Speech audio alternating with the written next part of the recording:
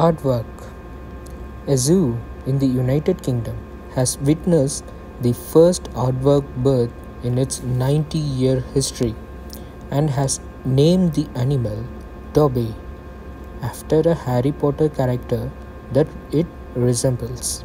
A video of the female aardvark born in January 2022 was also shared by the Chester Zoo YouTube channel. The sex of the calf was revealed recently. Please share, comment and like this video